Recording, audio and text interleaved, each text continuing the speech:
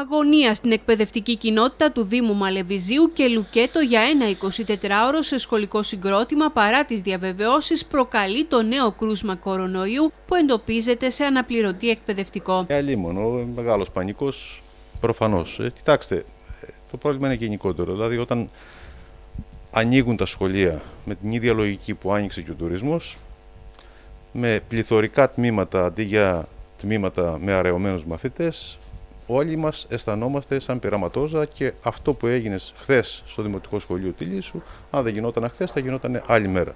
Ο δάσκαλος παρουσιάστηκε χθες στο Δημοτικό Σχολείο της Τηλίσου για να αναλάβει καθήκοντα, έχοντας ήδη υποβληθεί σε τεστ με δική του πρωτοβουλία. Όμως τα αποτελέσματα του γνωστοποιήθηκαν αφού είχε αναχωρήσει από το σχολικό συγκρότημα, όπου στεγάζονται το Δημοτικό, το Νηπιαγωγείο και ο παιδικός σταθμός της περιοχής. Να σημειώσουμε ότι ήρθε καθόλου σε επαφή με παιδιά. Απλά πήγε στο σχολείο, κατέθεσε τα χαρτιά του, τα δικαιολογητικά του και έφυγε. Έμεινε δηλαδή στο σχολείο περίπου μία με μία μισή ώρα. Παρ' όλα αυτά, εμείς είπαμε ότι ο συνάδελφος αυτός θα μπει σε 14 ημέρη καραντίνα.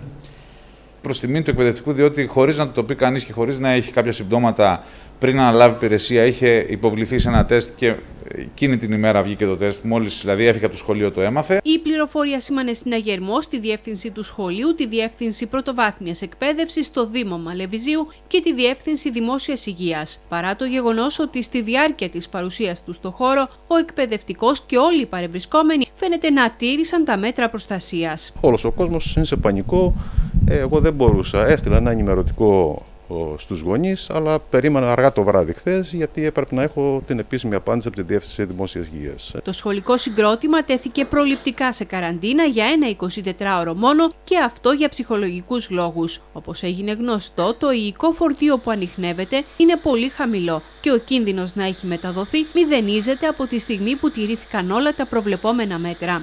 Πήρα τηλέφωνα τα δύο εργαστήρια στα οποία σχετίστηκαν με το το ένα εργαστήριο που έκανε τη δειγματοληψία και το άλλο εργαστήριο που έβγαλε τα αποτελέσματα, καταλήγει ότι το κρούσμα είναι χαμηλού υλικού φορτίου, άρα χαμηλής νοσηρότητας και σχεδόν μηδενικής μεταδοτικότητας. Ο εκπαιδευτικός κατοικεί μόνιμα σε τουριστική περιοχή με αυξημένο αριθμό κρουσμάτων και θεωρείται ότι νόσησε χωρίς συμπτώματα το προηγούμενο διάστημα. Μάλιστα, στο πλαίσιο της ιχνηλάτησης υποβλήθηκε σε τεστ και η σύζυγός του, η οποία βρέθηκε αρνητική. Το τεστ έδειξε χαμηλό υλικό φορτίο και η ερμηνεία που έδωσαν οι γιατροί, η οποία όμως δεν θεωρήσαμε ότι μας καλύπτει ε, και μπορούμε να στηριχτούμε σε αυτή, είναι ότι ο συνάδελφος αυτός έχει περάσει παλαιότερα τον ιό και αυτό που ανοιχνεύεται ως υλικό φορτίο πολύ χαμηλό, που δεν ε, μεταδίδει στην ουσία με βάση αυτά που μας είπαν, α, ανοιχνεύεται με ένα κόμμα, αλλά δεν, ε,